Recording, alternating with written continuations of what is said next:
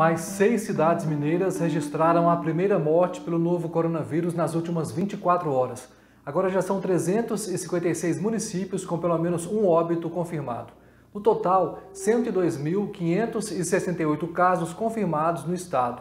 24.090 pessoas estão sendo acompanhadas. A última atualização registrou 2.238 mortes. De ontem para hoje, foram computados mais 72 óbitos. A Justiça deu um prazo de 15 dias para que Sete Lagoas, na região central do estado, implante 35 leitos de UTI para Covid-19. A decisão atende a um pedido do Ministério Público. O município é responsável pelo atendimento em uma área que abrange 24 cidades, onde vivem 445 mil pessoas. Se a determinação não for cumprida, a multa prevista pode ser de 50 mil reais por dia. A Vigilância Sanitária de Ribeirão das Neves, na região metropolitana de BH, interditou cinco academias da cidade. Este tipo de atividade estava proibido no município desde o fim de junho. De acordo com a prefeitura, não houve resistência por parte dos responsáveis. E em Belo Horizonte, a taxa de ocupação de leitos de CTI exclusivos para pacientes com Covid-19 caiu dois pontos percentuais, de 91% para 89%. Os dados divulgados pela Secretaria de Saúde da capital se referem ao balanço da última terça-feira, dia 21. No caso dos leitos de enfermaria, a ocupação exclusiva para os casos de coronavírus estava em 77%. A Caixa Federal ampliou de quatro para seis meses a pausa para quitação de prestações da casa própria e do financiamento de imóveis comerciais, mas a medida não interrompe a incidência de juros, seguros e taxas durante o período de extensão dos pagamentos.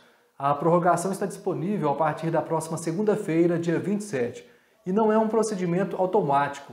Quem tiver interesse deve fazer o pedido ao banco. Para quem mora na capital, o telefone da Caixa é o 3004 1105. Nas outras cidades, o número é o 0800 726 0505.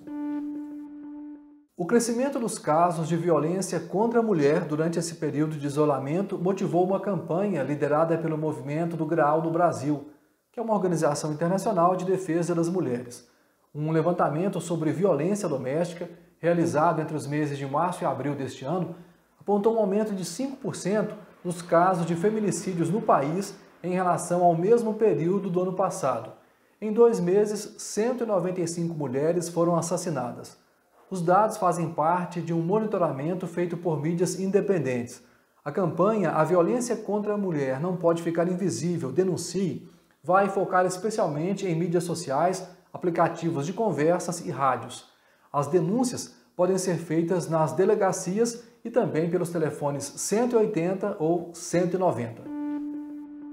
O governador Romeu Zema anunciou o pagamento de 3 milhões de reais para o Bolsa Reciclagem, programa que reúne 1.600 catadores vinculados a 80 associações. A remuneração leva em conta a produção trimestral dos catadores, que tem como base a quantidade e o tipo de materiais coletados. Para a Associação Nacional da categoria, o recurso é importante nesse momento em que os trabalhadores enfrentam uma situação financeira muito complicada em consequência das restrições provocadas pelo coronavírus. Amanhã tem um novo boletim com as informações atualizadas. E lembre-se de cuidar sempre da sua saúde.